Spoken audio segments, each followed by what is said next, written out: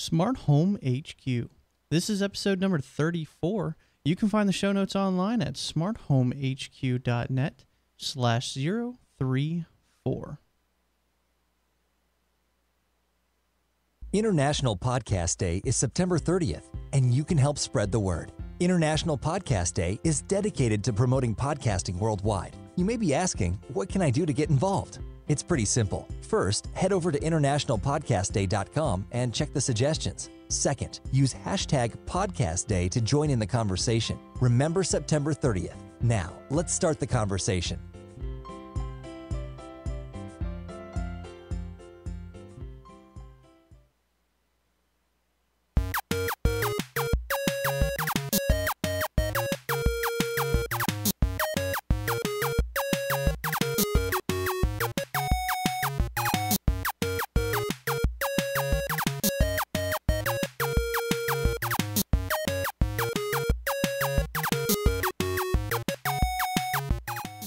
Everybody. Welcome back again for another fine episode of the Smart Home HQ podcast, the podcast that tries to make your home a, a little smarter each time. Well, that's what I'm trying to do, and uh, we can do it together as a community as well. Uh, I want to thank everybody for all the feedback and questions and comments and things like that that you guys send in all the time. It's yeah, it's great. I, I enjoy reading through it. I enjoy responding to it all. Um, and you know, it's tons and tons of fun. Well, this has been a pretty busy uh, last couple of weeks, I think. A lot of exciting things have come out. Uh, this first off being, you know, the Smart Things version 2 is finally up for pre order. It is supposed to ship sometime in September. I kind of give that a little floating window there, but considering they've made this much of an announcement and they've put the pre orders out, you know, let's, I'm going to be positive. We're going to see this ship out in September. I've pre-ordered mine. Uh, I do. I did send in some questions though, because I'm a little concerned uh, on the lack of specs that was listed on that site, what all included and things like that. So right now you're kind of looking at Zigbee, Z-Wave, and IP, right? But what about HomeKit and um, you know Bluetooth was supposed to be a big one that was in there. Any other threaded protocols or anything like that that it may support? I got a response and they said that uh, more information's uh, coming out soon. So they may uh, be getting ready to uh, you know ship that stuff or getting ready to send it out, but they're taking the pre-orders. But they may behind the scenes, you know, still trying to work on a few things to get that cleaned up a little bit. And it's very possible that the hardware is going to ship with it for those features, but um, not activated until later with a you know a software update or firmware update. So you know that's pretty exciting. You do have a couple options of pre-ordering this if you want. So you can go to um, Smart Things directly and pre-order it. Uh, you can use your uh, Amazon account and uh, go to Amazon.com and pre-order it. However you feel comfortable. If uh, you want to, uh, don't mind using some of the referral links that I've set up on the site, um, you can go to the show notes for today, and there is a blog post, uh, a link to a blog post that I did earlier when this first came up, and there's some links in there. I've completely marked it as a referral link for Smart Things' website, a referral link to Amazon. And if you don't want a referral link at all, just go to shop dot shop.smartthings.com and you can buy straight from there without any referrals. But yeah, so that's really interesting. We've been waiting for this for a while. If you're not really sure what I'm talking about with the Smart Things um, version 2 hub, maybe you haven't listened to a lot of the uh, older podcasts that I talked about it or you're not really sure what the big deal of it is anyway, well, um, the biggest deal about this, other than those other protocols that I just mentioned that it's hopefully going to support, is the local processing. SmartThings Hub right now is a cloud hub. Everything that's going on is actually being the CPU, the processor, all the uh, decision making is actually going on on Amazon's. Um, yeah, it's Amazon hosted, but on SmartThings um, cloud infrastructure. Their servers are doing all your processing and sending the commands back to the hub, and then tell, the hub then tells the devices in your home uh, what to do. Right. So if your internet goes out, nothing's happening. You're, there's no communication with the the central cloud, the brain. You know, there's nothing going on in your house. Your your routines, your relays, your scenes, all that stuff just fails to work um, until the cloud's restored.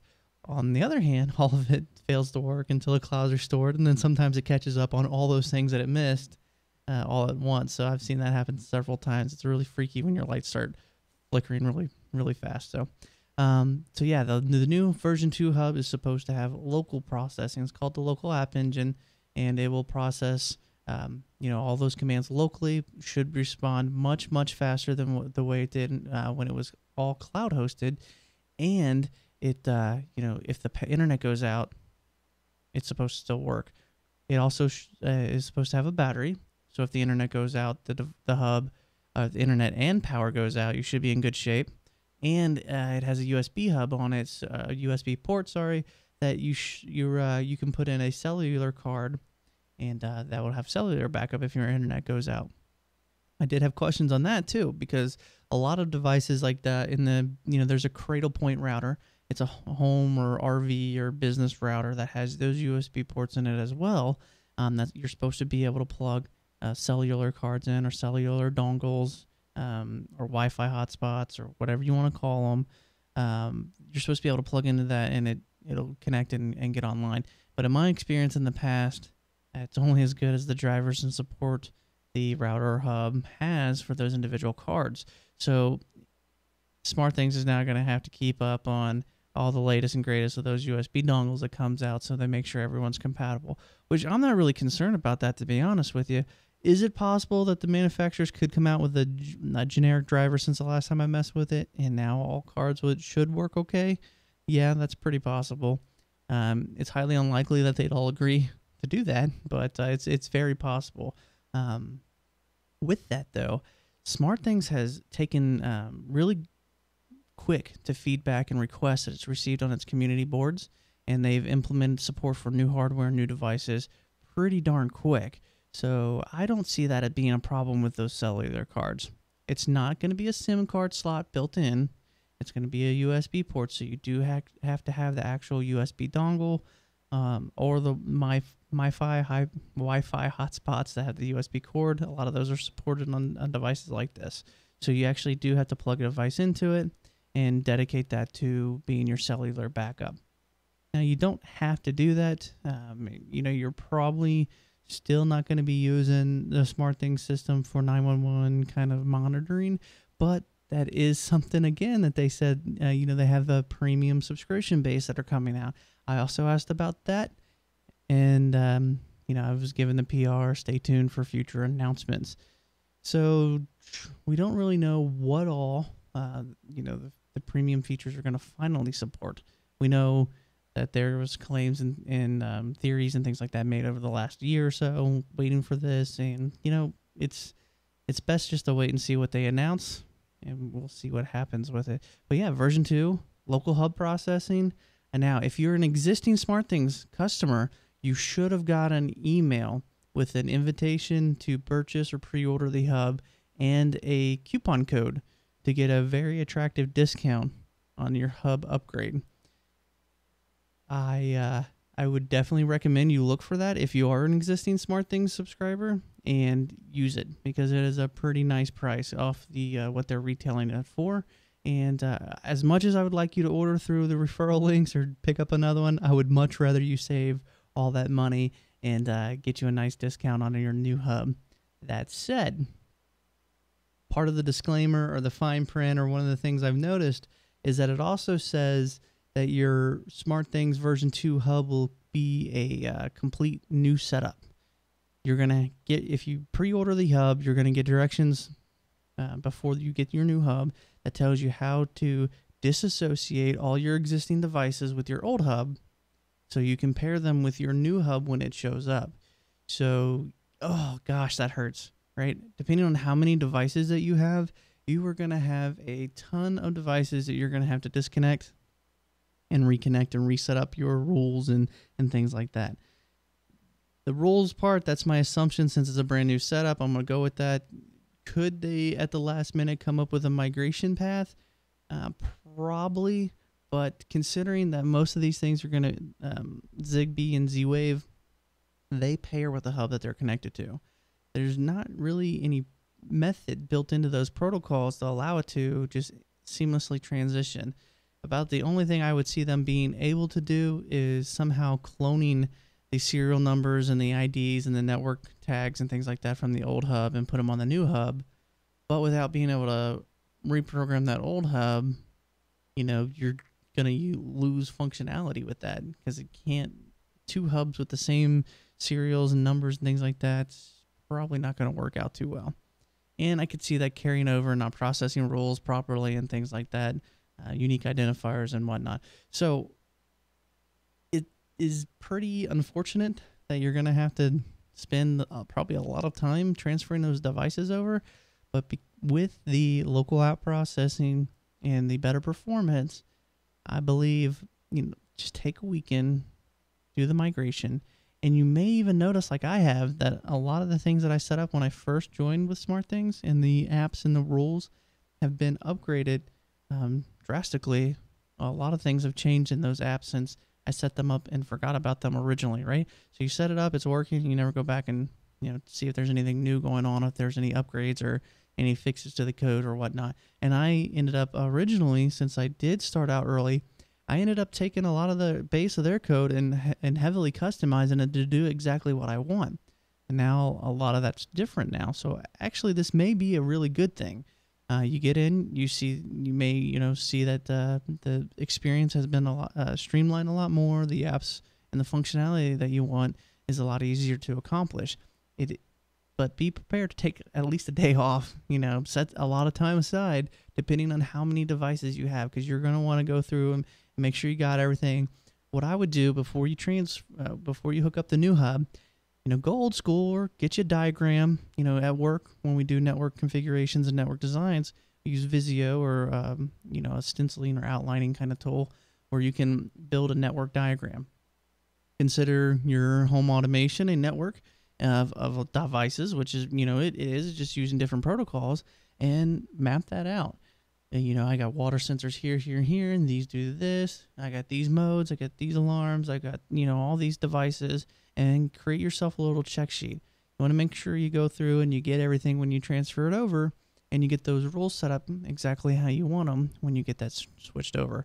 You don't want to find out um, that you forgot a water sensor in the basement when your sump pump or water pipe breaks or something like that. So document beforehand, get you a good outline, prepare and uh, set some time aside. So they are supposed to send a lot of documentation, or they are supposed to send some documentation on how you can transition. If I've, I have asked if I could get the hub a little earlier so I can go through this process. And if I run into roadblocks, and I will document that, I'll talk to you guys about it, do a video about it, whatever I can do to make this switch a little easier on you. So just prepare, know what you're getting into, and know that there's a plus side to this. If you maybe you're not as geeky as me, but once you migrate over to the version 2 hub, you have a version 1 hub that you can do whatever you want with.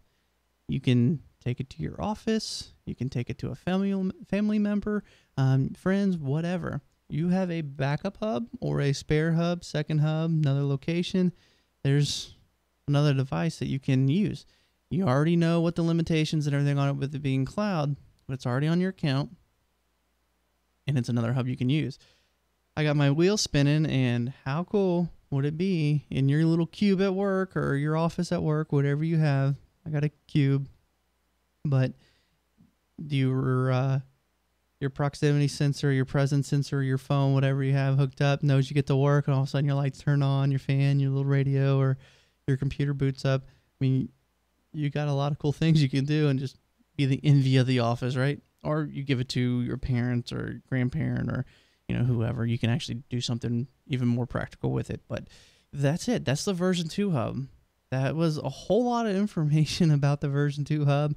Can you tell I'm a little excited about it? It's been pushed off for a long time and now it's finally, you know, so close. It's almost here.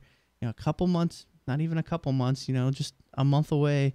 Um, maybe a full month, you know, if it's the ship by the end of the month, but whatever, it's almost here.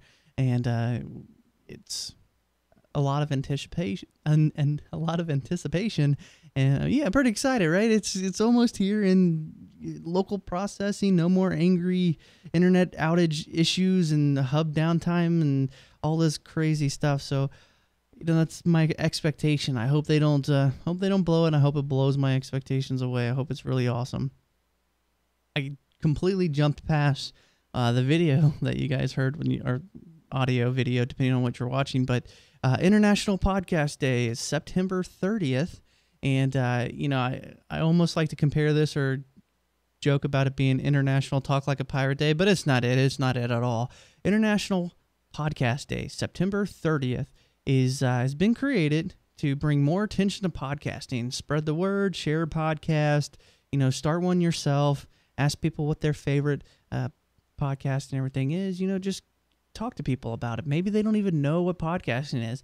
Chances are, uh, you know, if you know anybody with an iPhone, you know, they, they have an i if they're on the latest OS, they have a podcast app now in with the operating system. There's a ton of them available for Android, you know, Windows Phone, a lot of that other stuff out there too. So computer streaming, there's a lot of options out there. A lot of people probably don't even know what a podcast is, and you could take some time and let them know about it. Let them know what some of your favorite podcasts are, and maybe you you know you're gonna add some uh, some different content to their commute to work and home or mowing the grass or whatever they listen to music or audiobooks. Maybe they'll take a break and start listening to um, podcasts. So um, again, it's September 30th, uh, International Podcast Day. I'm gonna play those that uh, sound clip or video, um, you know, on the rest of the, the podcast for September and uh, I'm to mention it on Twitter and Facebook and things like that too. So uh, that's what that was, um, and I hope you look out for it. You know, participate if you can. Uh, I know you you may not be a podcaster, but if you tell somebody about it, uh, even if you get one person, that's one more person times however many active listeners there are right now. Uh, it could grow um, pretty significantly. So.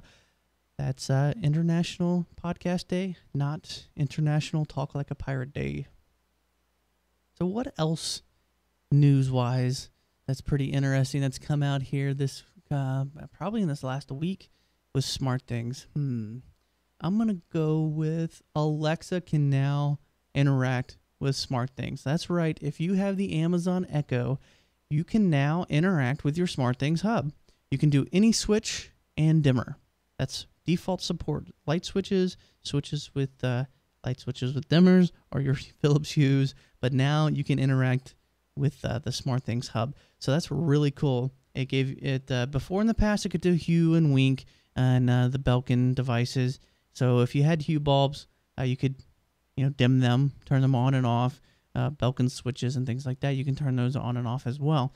Well, now if you have a you know your SmartThings is your primary hub and you have switches and outlets and toggles and whatever you know switcher pretty much if it you can switch it on and off, it can control it now. It could still dim. So one thing I do want to tell you is if you already have the Philip Hue integration with SmartThings, when you pair this, you're going to want to make sure you uncheck through SmartThings that you want to control the hue colors and dim and things like that because it's already integrated with your probably your Philips Hue hub if you've been using that as a feature and they will show up twice. So it can confuse Alexa just a little bit. So you don't want to double up. And uh, if you have door locks or a garage, it's not really supported. I did work with the SmartThings support staff to come up with a walk around, and I do have that in the show notes. It's another blog post on the site, and I'll kind of briefly go over that a little bit just so you can get an idea. Um, I've got a, a pretty good set of feedback from people saying that they've already got it working, and uh, I, I don't know if I need to do a video on that. So send me your feedback. You can feedback at uh, smarthomehq.net email, um, Twitter, Facebook.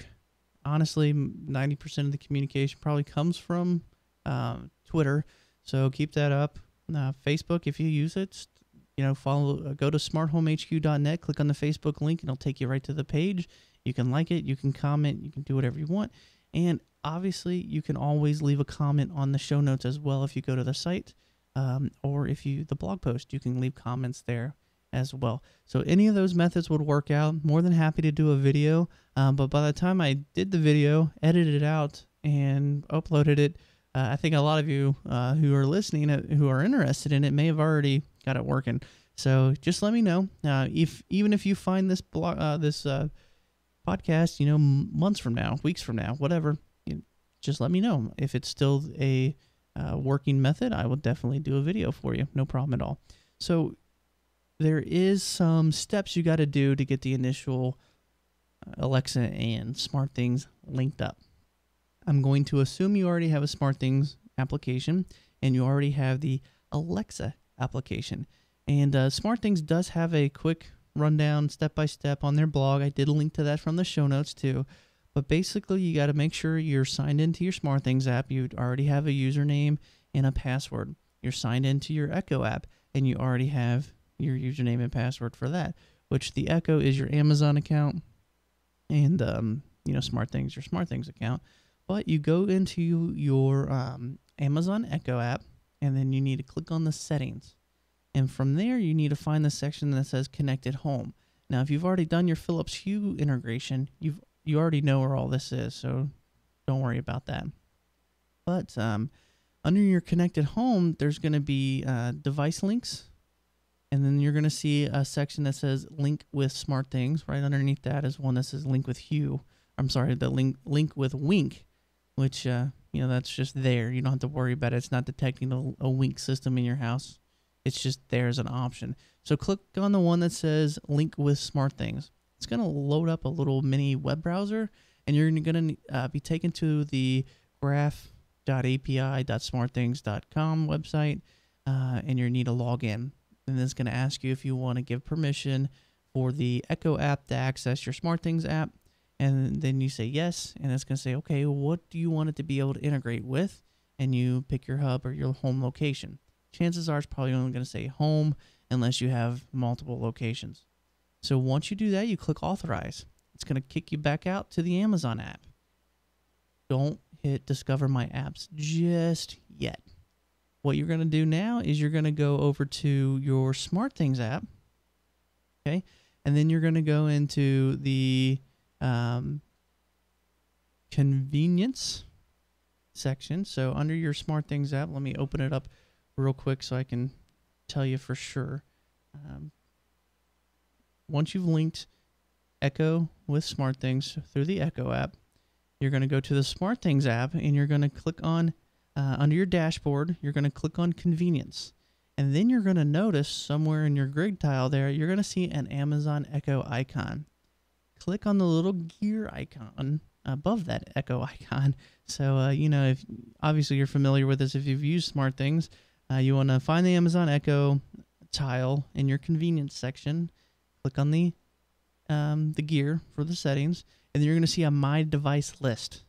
Click on that, and then you're going to be able to check all the check boxes next to the things you want the Echo to be able to control.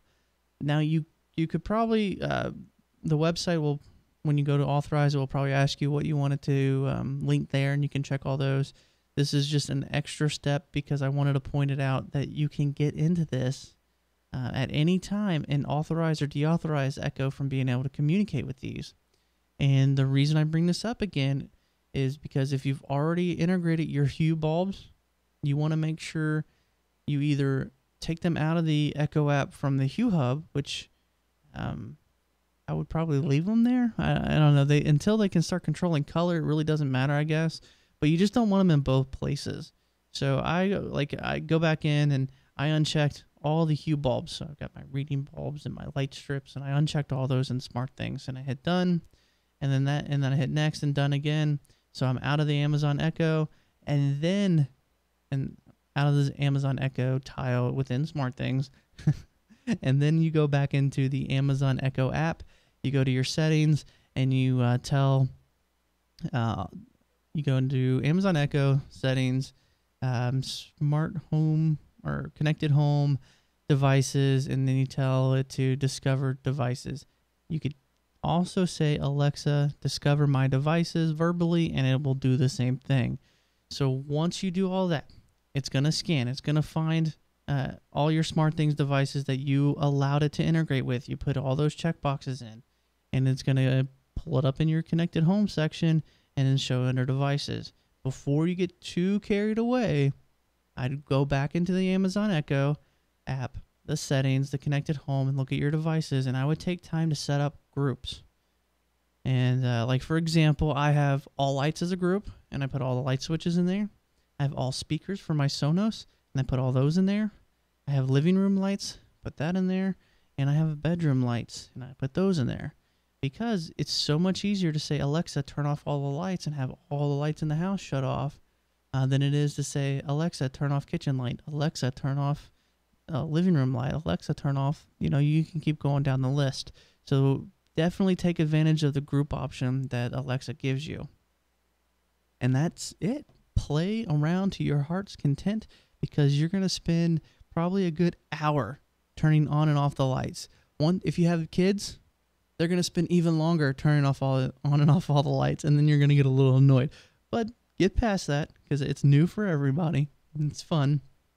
Now, if you have door locks and you have a garage door, those aren't um, compatible by default because Alexa only has support for the switching device type and the dimming device type. Uh, which, side note, because I'm really good at side notes, your siren, if you have a siren in your house, shows up as a switch. You may or may not want to allow that to be controlled if you have kids, because once they figure out they can tell Alexa to turn on the siren or turn off the siren, um, it will probably get turned on quite a few times. Um, but yeah, so keep that one in mind. Anyway, back to uh, your devices. Sorry, I lost train of thought there for a minute. Uh, your garage door and your front door. So Smart Things has a little workaround that I that I've talked to uh, Jesse at the Smart Things support, and we came up with a workaround here. And I did a video of it working. I gave gave him uh, full credit. So uh, yeah, let's uh, go over that. And what it does is it allows you to open and close your garage door and your unlock and unlock uh, by creating a second device manually and using your um, Hello Home protocols or features in Smart Things. And um, there's a few steps involved, and that's why I, I wrote it up and I you know I put it on there. Actually, Smart Things support Jesse uh, did a really good job at writing that up, so I put it all together with the video. I want to make sure everyone gets good credit for this who, who helped with uh, you know getting this all figured out.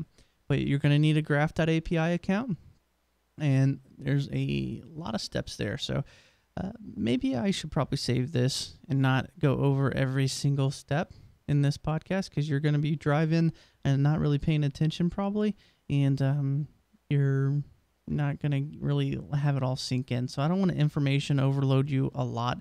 I probably already did that with the uh, Echo integration. Uh, but let me go briefly um, some of the quirks with this that I found.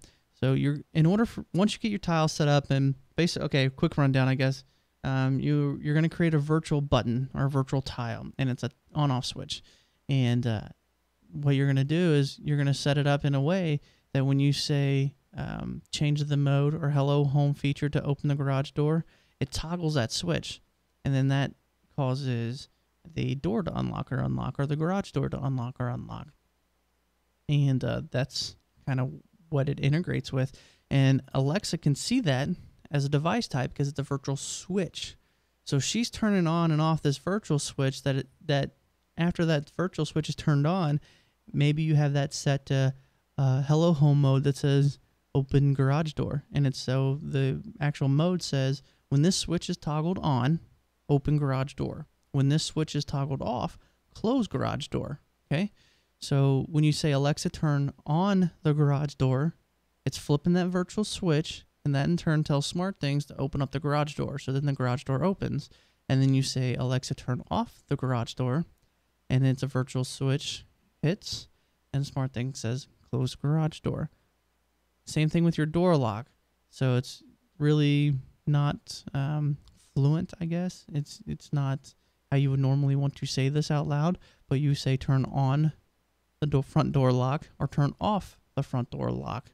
And you can flip this however you want in your mind. If locked means off and open means on, you can set it that way. If you know, vice versa as well. If on and off means whatever to you with the garage door. I mean, you're it's not set.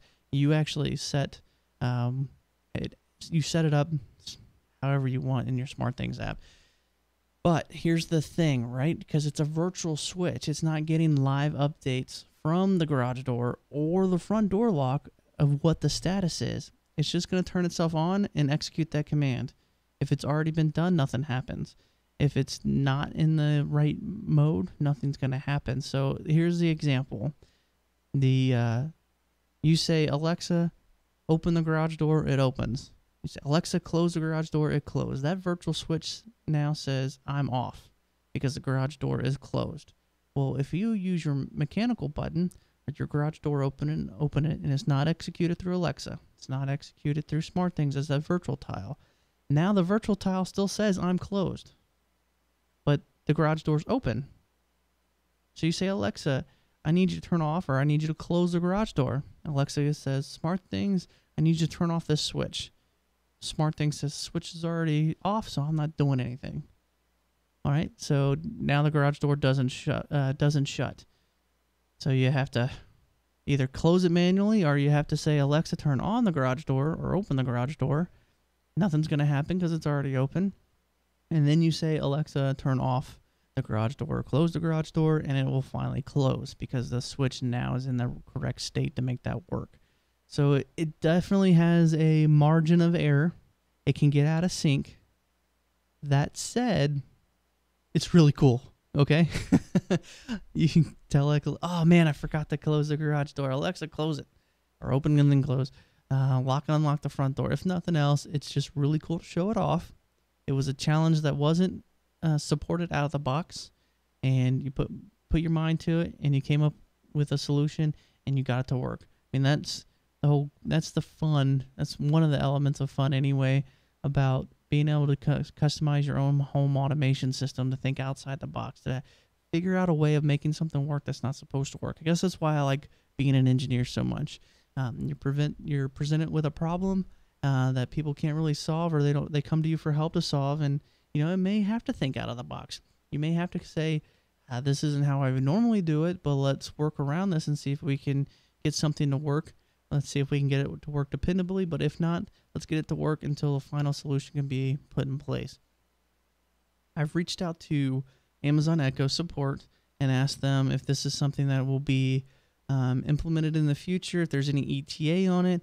And I got a generic response back that said, "Hey, did you know that you can integrate this with your smart things now? Here's the press release and the um, you know the solution for it." So I don't hold my breath on that because unless there's a direct engineer or someone in the know that you have contact with that would be able to give you any kind of response, the um, general um, call center type help desk support system with Amazon's really not going to get us very far. So unfortunately, I don't have that kind of connection yet, and I don't know when this is going to happen. I asked the same question to Smart Things, and uh, they said that they would love for it to happen soon, uh, but Amazon has not announced that kind of functionality to be put into yet. So check out the show notes, go over to the blog post, and go through the watch the video. It's pretty neat. Uh, it's pretty basic. It's just hey, this is it working with the garage door opening and shutting and the lock opening and shutting. Um, but try it out. Follow those steps and then leave some feedback. Do you need a video going through um, how exactly it was put together? I would really I don't mind creating that for you guys. I just don't want to uh, create it if if it's too late and everyone's already got it working. So just let me know. Um, I I'll, I'll do it. So you know, just uh, give me some feedback. Feedback at smarthomehq.net. Social media. Um, e- email was the first one. social media or comments on you know the show notes or the blog post there. So or even the YouTube video. Yeah, just whatever give me some feedback and I'll uh, I'll help you out with that. So that was the other big Amazon Ale- Amazon Echo Alexa slash Smart Things integration news that, that has uh, come out, and that is uh, a lot of information. So there's probably you know nothing else I should uh, let you guys know about, right? Because I mean that's just a ton of information right there. Now I'm to do one better. I'm to go back in and say there's one, maybe two more things I want to let you know about. And uh, it, it also deals with Alexa. So Alexa is uh, going to come out kind of of its shell a little bit. And you have your Echo device, and it's really cool. If you don't have one, it's really fun. Wait for a sale, but if you don't mind spending that much money on it, um, let's say around 200 bucks, give or take sales and tax and shipping and what other options there are there. Um, you can wait. Sometimes they go on sale, but maybe only two at a time. If that's referring to the last Amazon bigger than Black Friday deal, I think they only had two Echoes that they actually had involved in those deals. It's crazy, but um, Amazon has come out with the Alexa voice service or the Amazon voice service, and that allows developers to add the Alexa voice functionality, question answer kind of system into their own apps and hardware. So we may over time start seeing apps for your phone or other hardware devices that can integrate and act just like Alexa. So you, you may have the Amazon Echo right now, and it is the original, but other manufacturers and developers now could come out with something else. Tie into other APIs, tie into you know their own hub with Alexa voice integration to turn it on and off. So that would be really interesting to see that come out and uh, you know see how far that gets. I don't know. That's that's just another tidbit. I mean, my wife's always like me, my wife, my kids were always saying, "Hey Alexa." Oh wait, we're not at home. There's no Alexa here. How cool would that be if you could have it in your car? Just ask a question. If it was an app on your phone that you can actually integrate with and ask questions.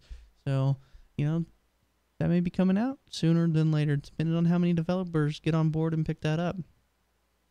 And the last little Amazon tip that I wanna I wanna share with you, and I just found this out today by looking at a website that was listing Amazon Echo Easter eggs of all things, right? Uh, the little hidden phrases, kind of like "beam me up, Scotty" and things like that. There's a ton of them out there. They're fun, but I didn't know this before. You may have noticed this before, and it just me being late to the game on it. But Alexa can give you heads or tails or a random number between X and Y. So you could say, "All right, we're gonna have pizza tonight if it's heads, tacos tonight if it's tails." Alexa, heads or tails? boom, she'll give you an answer. And it's pretty random, as much as a computer random generation can be, but there you go. You even get mad about it and go best two out of three. She'll give you a couple extra answers. So um, heads or tails, and then you can do. I'm guessing a number. I'm thinking of a number between one and ten, seven and three hundred and fifty-six. What's what's your guess is? You don't believe me? Well, let's have Alexa pick it up. Alexa, random number between 1 and 10. She'll give you a random number. Anybody got it? Dang, let's try again. You know, those are just some fun tidbits that you can do with Alexa. It's I I found it today, so I wanted to throw it in. Maybe you haven't realized that. Maybe you're sitting next to Alexa right now and you're asking her, "Hey, heads or tails?" All right. 1 through 7. All right. Maybe ask her this. "Hey Alexa, heads I leave some podcast reviews on iTunes for Smart Home HQ. Tails, I don't. Man, I hope she says heads. well, that was a lot of information for everybody uh, this week. Uh, wow, just so impressed with the Smart Things new, news that has come out and the integration between Smart Things and Alexa. It's really entertaining. It's really interesting and a, and a whole lot of fun. And I was just kidding about the whole podcast reviews. No, not really. Can you guys uh, take some time, uh, head over to uh, iTunes and leave some reviews. If you're on Android, I guess it really doesn't matter if you uh, go to iTunes or not, right? Because it's not integrated with you. But you could go to the uh, the show notes or send me an email and just let me know how you feel about it. That's cool too. Feedback at smarthomehq.net. If you want to leave a voice message for me to play back on the show, smarthomehq.net slash voicemail, or look at the banner on the side of the front page. Uh, social media is always an option as well, and there's support pages if you're interested in uh, seeing ways that you can support the podcast.